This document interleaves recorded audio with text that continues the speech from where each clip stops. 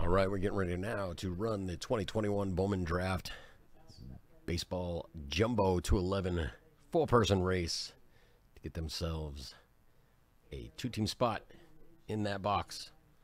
So we are going to switch over to the race, shuffle seven times, and then have said race. So let's switch over now. Here we go. We're going to shuffle seven times. There's one, two, three, four, five, six, and seven. And they're off. Joe K taking off out of the gates with all kinds of purpose. Joe S is on his tail. Here we go. Craig F coming up. He's catching up at the halfway mark.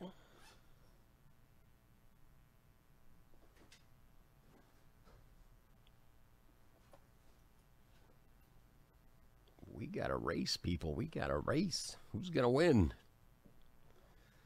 Joe K, you would be the winner of this race. Congratulations. We will see you in the break.